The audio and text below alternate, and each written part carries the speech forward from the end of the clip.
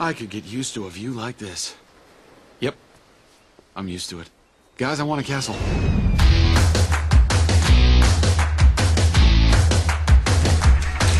Ah, the kingdom. It is beautiful. Clapping, dancing, general merrymaking, not a care in the world. At least for most folks. See that handsome fellow running for his life? That is me. They just can't get my nose right. And that tower?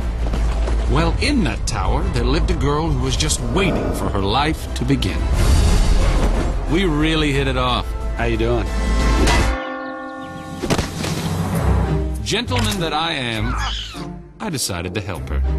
I'm prepared to offer you a deal. She could not resist me. I didn't want to have to do this, but you leave me no choice.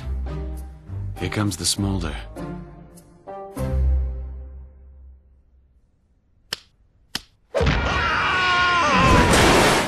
You coming, Blondie?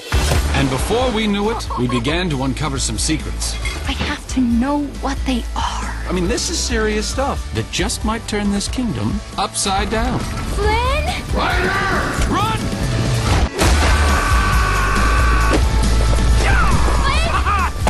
Look out!